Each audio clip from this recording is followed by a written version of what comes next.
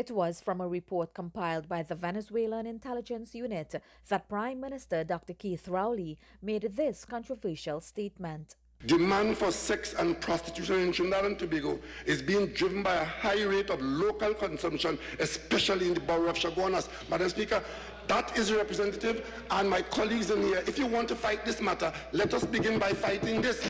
But the president of the chamber, Ritchie Sookhai, says if law enforcement had collected data, they should act on it by arresting the culprits.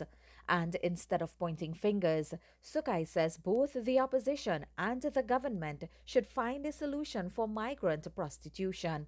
Many times raids have been made before in the past in these establishments and they seem to pop up back once more. Again, no one is being held accountable, and this is where the authorities need to step in. If you know who the big fish are, so say, name them, shame them, and put them out in public. At least while he was leading the Central Division, retired Senior Superintendent Johnny Abraham said prostitution was never a major problem. Well, when I was there on my watch, such activities like that taking place, there was, but not CNC3 News reached out to several non governmental organizations who have been working with migrant prostitutes, but no one was willing to go on record to confirm whether the problem was more prevalent in the Central Borough.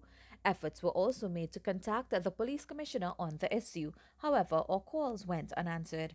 Radhica Silva, CNC3 News.